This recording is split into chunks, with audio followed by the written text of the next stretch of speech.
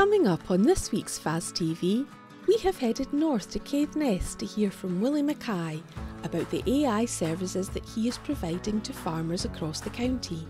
For 55 years, Willie has been helping farmers select bulls which will provide the genetics for future proofing their herds. As AI technology has moved forward, farmers have a wider selection of bulls, and now there is the ability to use sex semen to produce females for future replacements.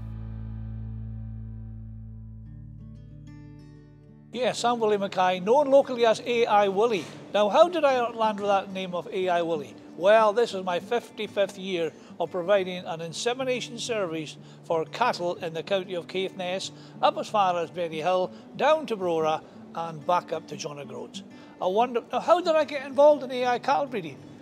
Well, in 1968, I was working at the College of Agriculture and across the road from the college um, boundaries was the AI cattle breeding service.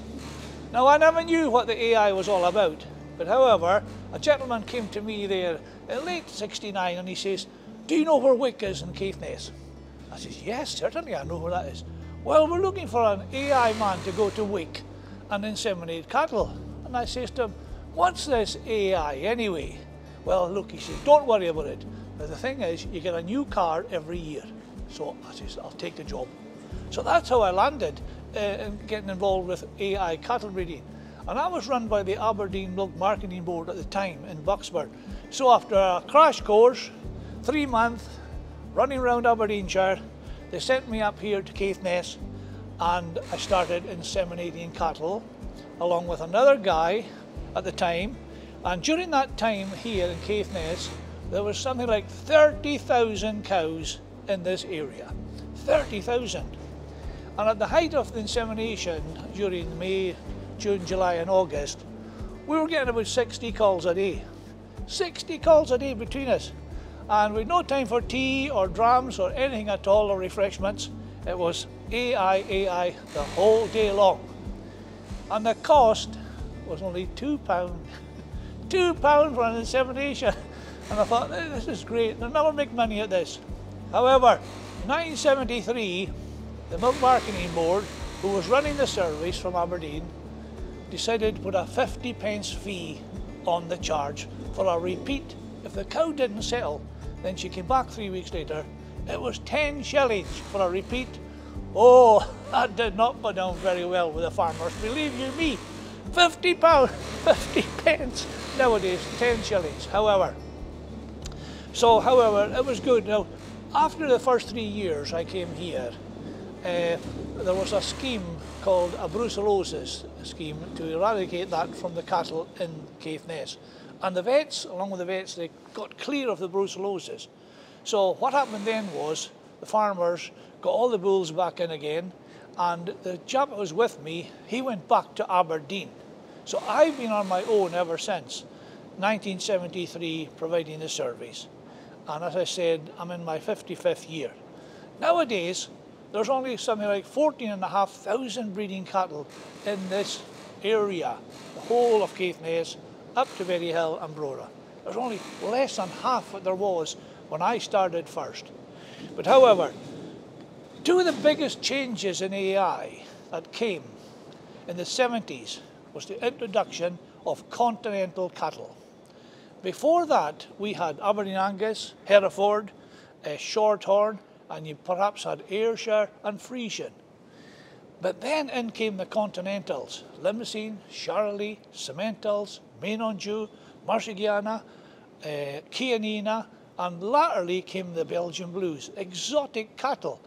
And the farmers in Caithness really took to these cattle, and today the Limousin breed is one of the most popular breed in the whole county that is used extensively.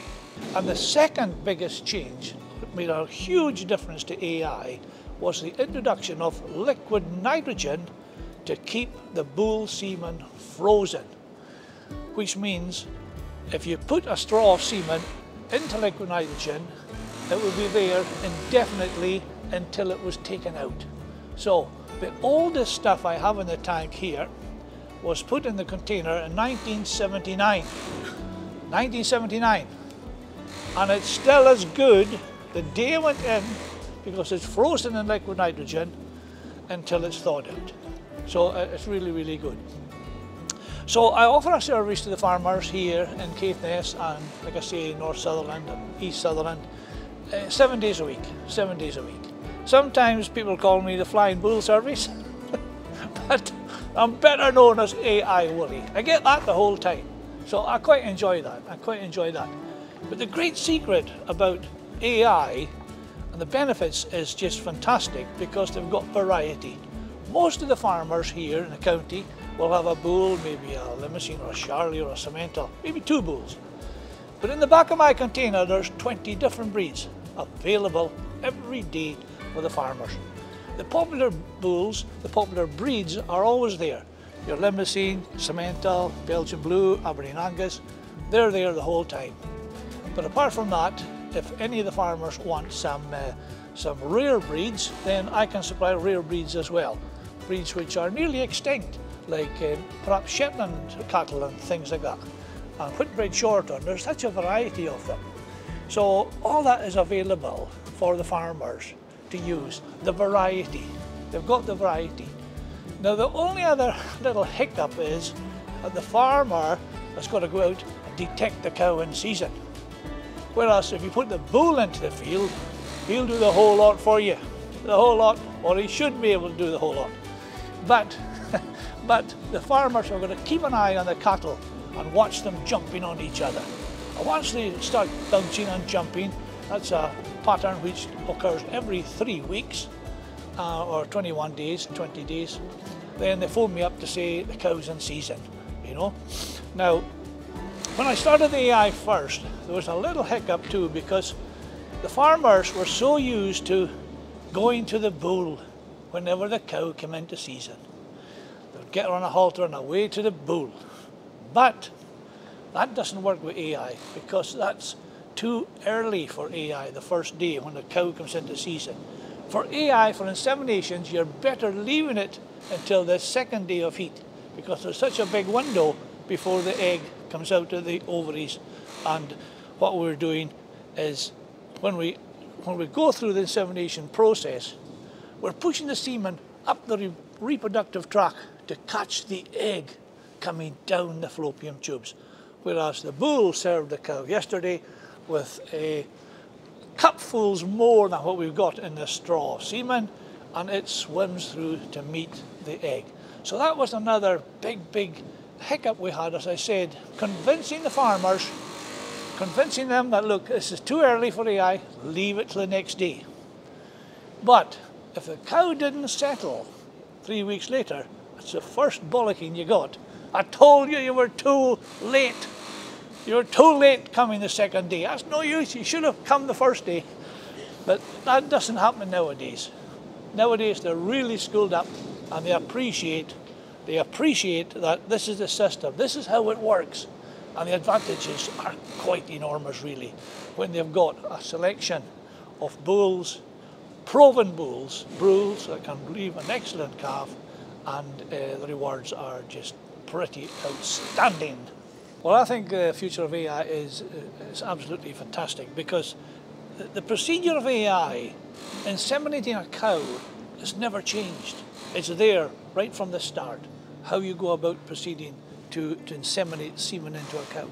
And talking about the history, just let me mention, the AI was introduced to Britain after the wartime, late 40s, 50s, by the English Milk Marketing Board, the Scottish Milk Marketing Board, and the Aberdeen Milk Marketing Board. And that was primarily for dairy cattle. Dairy cattle that were out grazing through the morning and day uh, in for milking at night and they were so easy in and out their sheds to, to get inseminations. So when the AI started, it was for, for dairy cattle, Ayrshire, Friesian mainly. But over the years, the boards diminished. A certain person decided to do away with boards, potato boards, milk boards, egg boards, the whole lot. And three companies formed. One was called Genus, Genus, that's the former English Milk Marketing Board. They took over the service. They're a private company. They're based in Chester. The other was um, Cogent. They're down in England as well. they have a stud of bulls, and UK Sires, they're in Devon. That's the three breeders or producers of bull semen where I get semen from. Now, how do I get the semen here?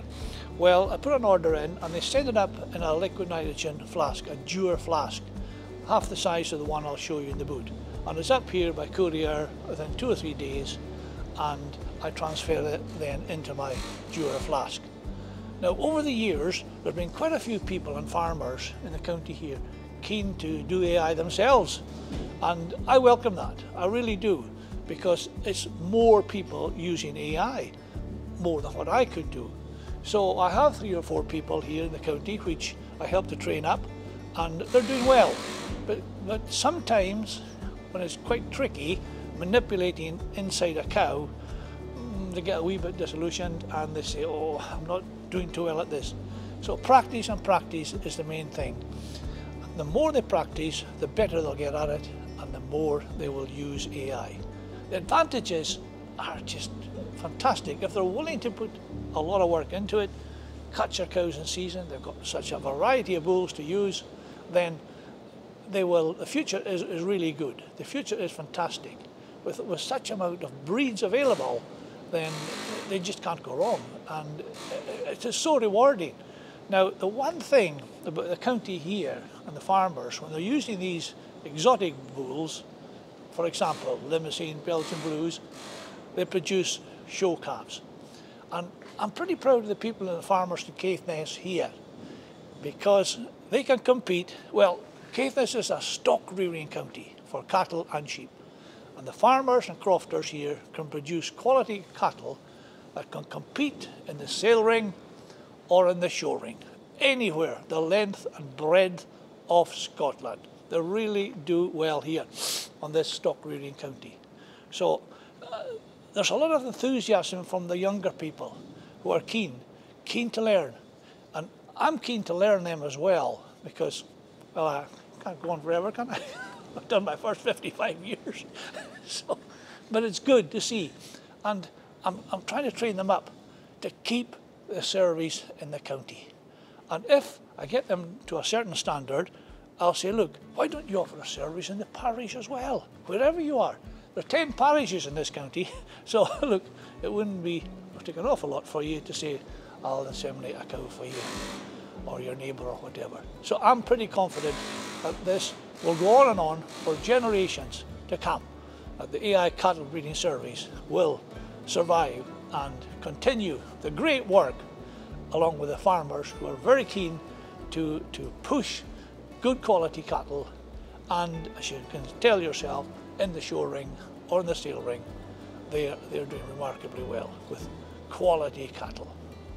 Yes, well, this is a Smerral Upon and Wheel. Now, it's approximately about two mile off the main A9 road on the east coast of Caithness, and it's an area that I've been serving here through the AI cattle breeding service for the past 55 years. Uh, it's quite a large area, the whole uh, of Caithness that I do serve. It's something like 650 square mile, but we're right rural here now. We're right rural, and behind me here, as you can see, we've got 11 breeding cattle, which are all after the A insemination and uh, they all, as I say, come out of the tank uh, with frozen semen. So today we are going to inseminate a cow that was on heat yesterday and uh, I always say that the second day of heat is the best optimum time for insemination. What we're going to use here today is one of the great advantages and techniques in AI of sexed semen.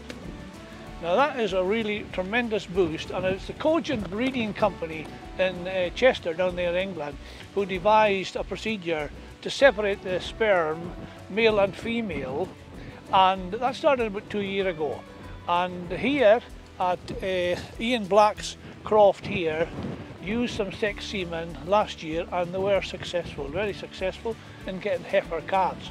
So today again we have another cow on heat yesterday and we're going to use a Hereford sexed semen straw to leave a female heifer. Uh, Ian has used Shorthorn and Aberdeen Angus sexed in the last year or two as well and it really is a tremendous opportunity to get a replacement heifer calf rather than buying in from, from other means. So that's our procedure today and uh, as you can see these cows they don't run away from you when you when you approach them. Now some cows they're not very well used to a lot of people and they'll take off. But we've got a unique situation here, absolutely unique situation, which you will see where Ian Black will go into that field with a pail of corn and the cows will all run towards him. They just come right in here. And he'll pick one out, the one for AI, and tie her up here, just with a little rope around her neck, and hold her against his gate, and she won't move. We'll be able to inseminate her standing here in the open, fresh air. As you can see today, it's really fresh today.